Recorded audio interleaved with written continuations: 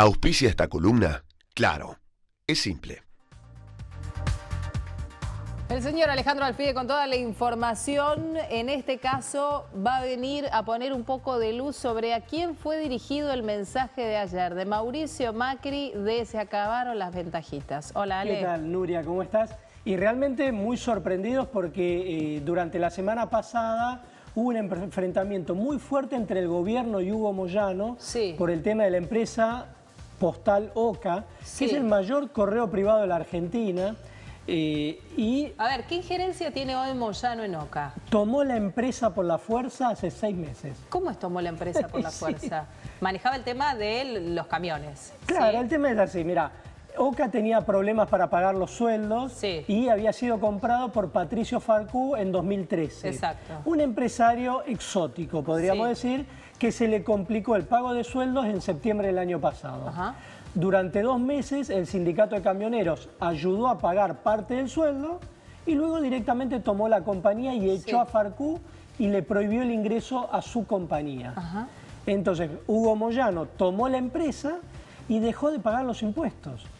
Entonces acá empezó un enfrentamiento con el gobierno, primero le refinanciaron los pagos, debía 2 mil millones de pesos a la FIP, ahora debe 3.200 millones y la FIP ya le embargó parte de las cuentas, ahora embargó nuevamente otras cuentas, Sí. más de 300 millones tiene embargados OCA por la FIP. Y realmente ahora le dijeron a Moyano, mirá, tenés que reestructurar la compañía. Claro. O sea, no puedes dejar de pagar los impuestos. Pero a ver, él deja de pagar los impuestos, pero supuestamente impuestos que en lo oficial no le pertenecen porque la compañía fue tomada por la fuerza, no, no es que la- se la adjudicó de manera formal. Bueno, lo que dicen es que Farcú era como un testaferro de Moyano, que se quiso independizar y lo echaron. Sí, Ahora, el que compró la empresa fue Farcú. claro. Lo que pasa es que Oca, realmente desde la década de los 90, cuando pe- pertenecía a Alfredo Jabrán, ¿te acordás? Era una Sí, mafia infernal. Bueno, en su momento fue el responsable del asesinato de José Luis eh, Cabezas, Jabrán. Bueno, siempre estuvo envuelta en una oscuridad eh, que otra vez está tomada por la mafia.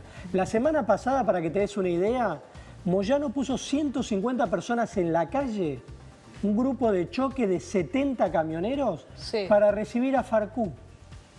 Porque Farcú había dicho que él iba a retomar el control de la compañía. Sí. Entonces puso 150 personas encabezadas por el patón Basile, ¿te acordás que es el, Sí, claro. es el de seguridad de los Moyanos? Sí. Bueno, en pleno La Rioja y Moreno, en el barrio de Montserrat.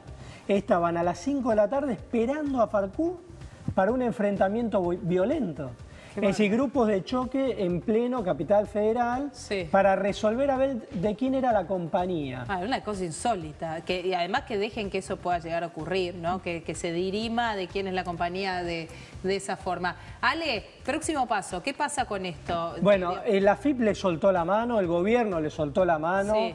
El gobierno dijo, terminemos con las ventajitas Sí. y con las mafias en la mayor empresa del sector de las comunicaciones, correo postal privado OCA. Dijeron, esto lo tiene que resolver Moyano y si no, que cierre la compañía, vemos dónde ponemos a los trabajadores, pero esto así no puede seguir más.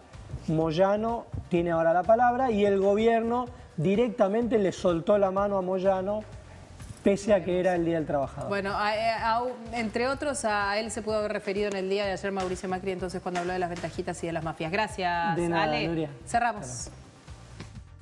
Auspició esta columna. Claro, es simple.